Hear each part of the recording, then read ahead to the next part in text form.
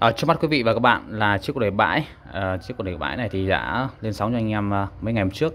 À, với chiếc cuộc đẩy bãi à, mã sản phẩm là FP 2006 à, với công suất của nó đạt 800W trên một kênh ở trở kháng 8 ohm và 1300W trên một kênh ở trở kháng 4 ohm. Thì với chiếc cuộc đẩy này anh em có thể ghép một cặp loa 40 và một cặp loa 30 anh em chơi thoải mái. Ở đây đang test với một cặp loa 40 thì uh, tiếng của nó đánh khá là căng nếu để tầm 12 giờ đánh rất là căng. Và với chiếc cục đẩy này thì uh, nó khác với những dòng cục đẩy khác là tiếng nó cực kỳ sáng luôn. Đấy, tiếng sáng choang cái giải chép của nó rất sáng anh em nhé rất là sáng. Đấy.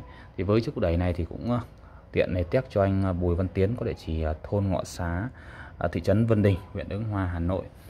Uh, với chiếc cục đẩy này thì uh, anh em nếu mà ghép karaoke thì phải nói rất là đẹp bởi vì là à, với hình thức của chiếc đẩy thì nó xa hay u thì nó làm rất là nhỏ gọn và à, gọn gàng. Với anh em để kệ thì à, nó rất là gọn gàng nhé với chiều sâu của nó đạt tầm khoảng độ à, hơn 40 một tí thôi. Đấy.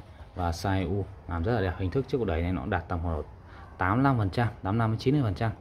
Nói chung nó đạt khoảng 90 phần trăm hàng để bãi đạt khoảng 90 phần trăm. Đời của nó là đời à, 2015 Đấy, 2015 anh em nhé.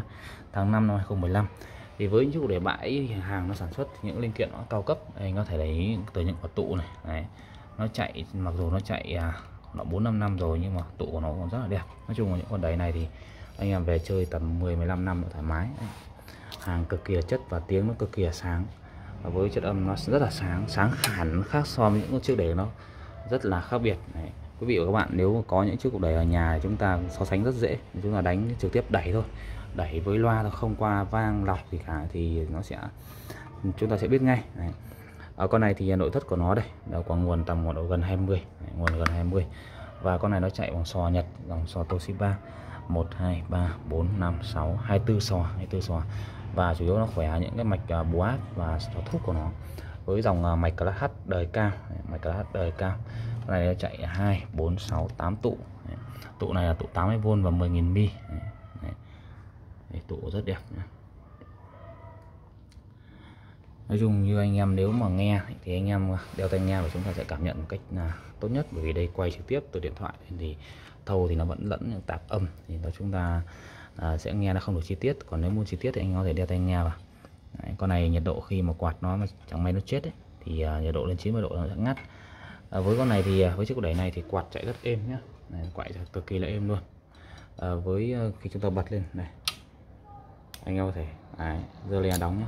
Le con này một le đây, le suất này. Le hai con le suất một le nguồn này. Đấy. quạt chạy cực kỳ là êm luôn. Đấy. Đấy. khi mà bật thì le đóng tinh tách. Chung là những dòng này thì anh em chơi thì rất là đảm bảo.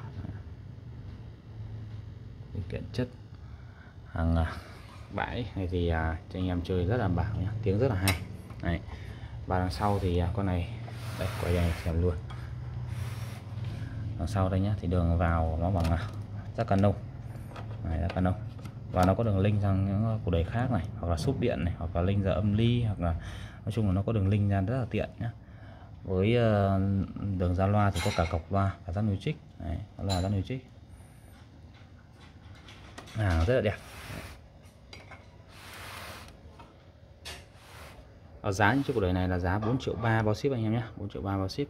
Đấy thì à, một lần nữa rất cảm ơn anh em đã theo dõi video. Thì à, ở đây mình sẽ kết thúc video clip ở đây.